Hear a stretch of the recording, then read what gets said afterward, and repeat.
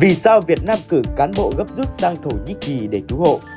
Mới đây, 24 cán bộ chiến sĩ của Bộ Công an và 76 cán bộ chiến sĩ Quân đội Nhân dân Việt Nam tham gia công tác cứu hộ cứu nạn, khắc phục hậu quả động đất tại Thổ Nhĩ Kỳ và Syria. Đây là lần đầu tiên Việt Nam triển khai lực lượng tham gia hoạt động tìm kiếm, cứu nạn cứu hộ với thảm họa thiên nhiên xảy ra ở rất xa lãnh thổ Việt Nam, phối hợp cùng nhiều quốc gia khác trên thế giới. Từ trước đến nay, thảm họa thiên nhiên xảy ra bất ngờ thường gây thiệt hại lớn về người và của. Sức tàn phá của thảm họa động đất tại Thổ Nhĩ Kỳ và Syria là hết sức khủng khiếp. Nhìn vào sự tham gia của bên ngoài nhằm cứu hộ cứu nạn, có thể thấy được diện mạo của ngoại giao quốc tế và thực chất mối quan hệ của hai quốc gia này với các đối tác cũng như đối thủ của họ. Cho tới nay, cộng đồng quốc tế đã có được rất nhiều kinh nghiệm quý báu trong việc thống nhất chủ trương, phối hợp hành động khi tiến hành cứu hộ cứu nạn ở những vùng bị thảm họa để đạt hiệu quả thiết thực nhanh nhất và cao nhất. Ngoại giao quốc tế trong trường hợp này là đóng góp tiền của, công sức để trực tiếp cũng như gián tiếp cứu hộ cứu nạn khi xảy ra thảm họa thực chất cũng là cuộc chạy đua với thời gian. Thảm họa là bối cảnh đặc biệt mà ở đấy ngoại giao quốc tế có nhiều hình thức thể hiện. Chỉ mấy ngày sau khi động đất xảy ra, cộng đồng các quốc gia trên thế giới, Liên Hiệp Quốc và các tổ chức đa phương quốc tế, tổ chức phi chính phủ đã cử nhân lực đến Thổ Nhĩ Kỳ và Syria để tìm kiếm cứu nạn, gửi hàng cứu trợ nhân đạo khẩn cấp để giúp người dân vùng bị thảm họa thiên nhiên. Theo chính phủ Thổ Nhĩ Kỳ, đã có ít nhất 61 quốc gia cử lực lượng đến trực tiếp tham gia cứu hộ cứu nạn. Với tình hình như trên, Bộ Quốc phòng và Bộ Công an Việt Nam cũng đã khẩn trương cử lực lượng tham gia cứu hộ.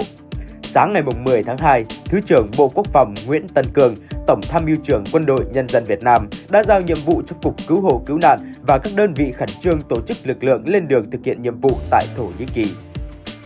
Theo kế hoạch, 80 quân nhân Việt Nam sẽ lên đường sang Thổ Nhĩ Kỳ để tham gia cứu trợ thảm họa động đất. Họ mang theo nhiều trang thiết bị cứu hộ cứu nạn như bộ dò tìm nạn nhân, máy khoan cắt, dụng cụ y tế, thuốc men, nhà bạt giã chiến, quần tư trang phù hợp tiết trời lạnh âm độ, Ngoài ra, Bộ Quốc phòng dự kiến hỗ trợ Thổ Nhĩ Kỳ 10 tấn lương thực. Ngoài ra, 5 cán bộ chiến sĩ cảnh sát phòng cháy chữa cháy và cứu nạn cứu hộ công an thành phố Hồ Chí Minh sẽ gia nhập đoàn của Bộ Công an bay sang Thổ Nhĩ Kỳ làm nhiệm vụ cứu nạn nhân trong động đất.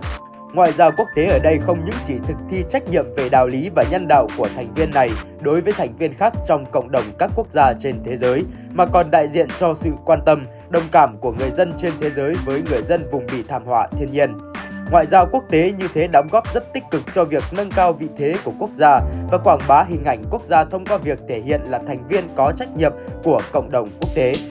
Đối với các quốc gia, vùng lãnh thổ vốn đã có quan hệ hữu nghị, hợp tác tốt với Thổ Nhĩ Kỳ và Syria, việc tham gia cứu hộ cứu nạn vừa cần thiết vừa có tác động tích cực.